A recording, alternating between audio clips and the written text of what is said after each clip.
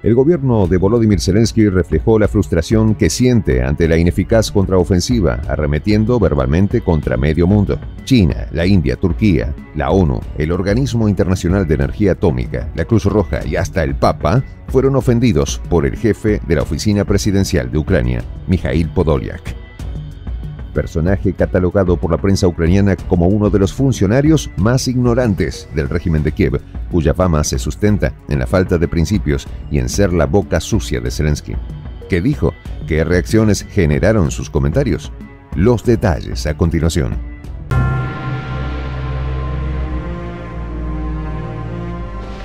Voz de la Patria Grande. Podolyak lanzó una serie de comentarios despectivos contra varios países y organizaciones internacionales, cuyas posturas respecto a Rusia no favorecen a Ucrania en medio de la guerra. Sobre China y la India, dijo que no analizan las consecuencias de sus propios pasos y tienen un potencial intelectual débil.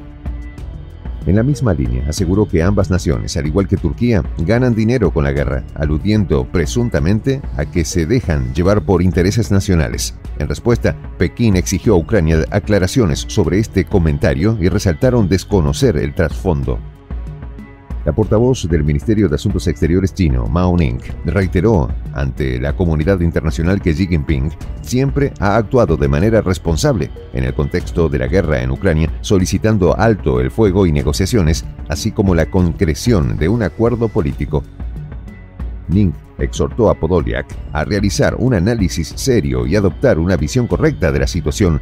La molestia del funcionario ucraniano radica en que China, la India y Turquía no se unieron a la política de sanciones occidentales en contra de Rusia y participan en los esfuerzos diplomáticos para intentar poner fin a la guerra.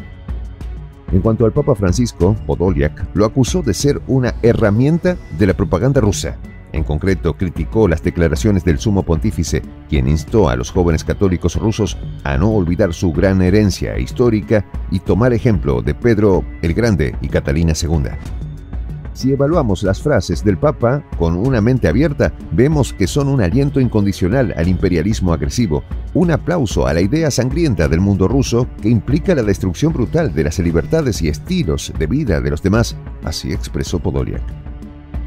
La ONU el Organismo Internacional de Energía Atómica, la Cruz Roja, entre otros organismos internacionales, tampoco se salvaron de la lengua de Podolyak, quien los definió como simples entidades ficticias donde prevalece la corrupción.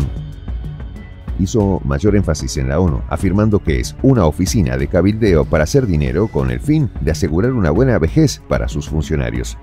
¿Qué hay detrás de estas declaraciones? ¿Por qué Podolyak tuvo luz verde para arremeter en contra de medio mundo?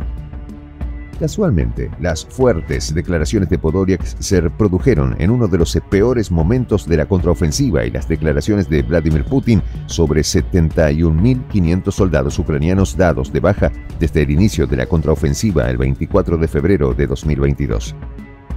Ucrania realiza la llamada contraofensiva. No hay resultados, por supuesto. Ahora no vamos a decir si fue un fracaso o no. No hay resultados, pero hay pérdidas grandes. Así sentenció Putin.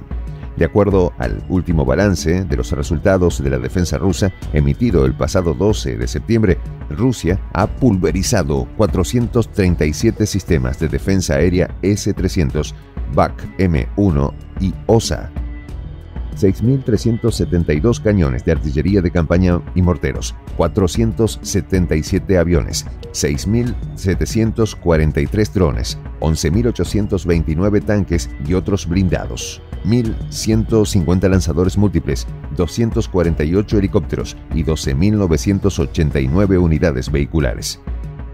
Ante el evidente fracaso de la contraofensiva ucraniana, el teniente coronel retirado de las Fuerzas Armadas de Estados Unidos, Ir Rasmussen, aseguró que a esta estrategia militar le queda, cuanto mucho, un mes de vida, tiempo en el cual las tropas se quedarán sin municiones y mano de obra. Aunado a esto, el experto mencionó las malas condiciones meteorológicas que se avecinan, escenario que será tan malo que los militares ucranianos no podrán avanzar y se convertirán aún más en objetivos de la artillería y las acciones defensivas rusas. No puedo imaginar a los ucranianos haciendo mucho en este momento. No hay manera de que pudieran, incluso si quisieran.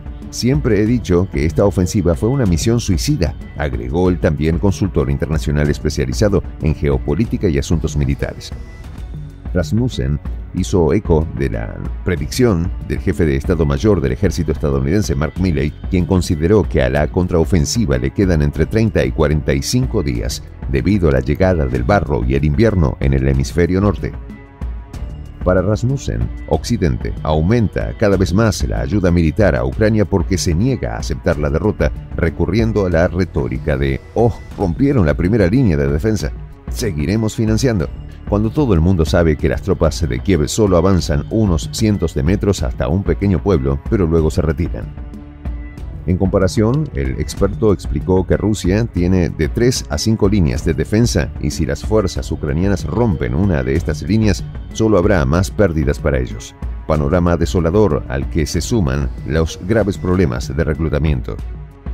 El ex asesor principal del Pentágono, Douglas McGregor, informó que el número de ucranianos que depongan las armas aumenta a medida que las Fuerzas Armadas sufren dramáticas pérdidas por su mala formación militar. No están preparados para esto y los están enviando a la muerte, reconoció, haciendo referencia a que la guerra pudo haber culminado en marzo del año pasado tras la firma en Estambul de un acuerdo de paz preliminar entre Ucrania y Rusia.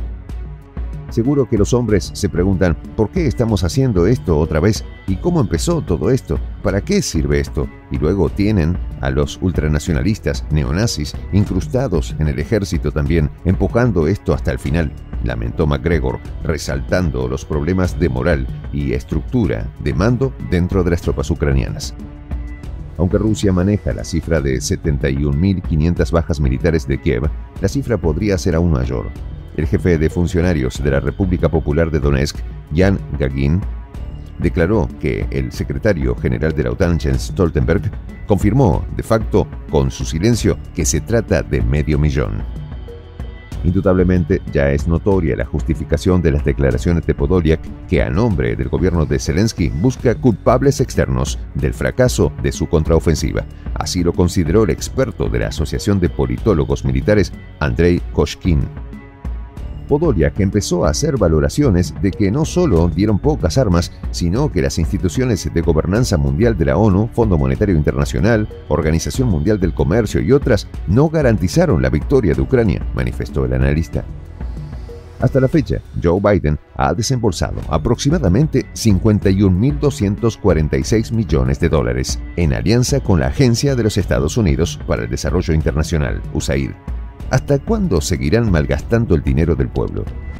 Soy el J, Juan José del Castillo, director del canal Prensa Alternativa.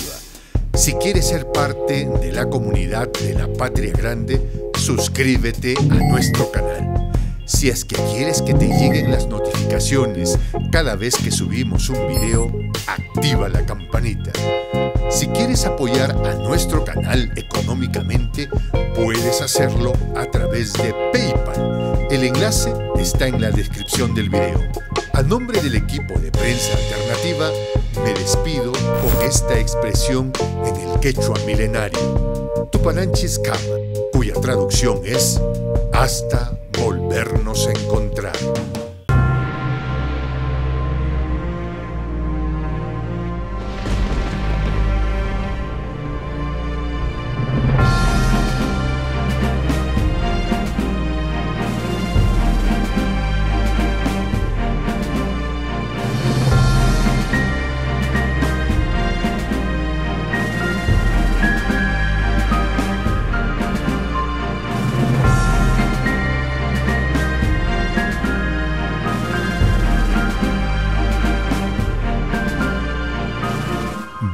De la patria grande.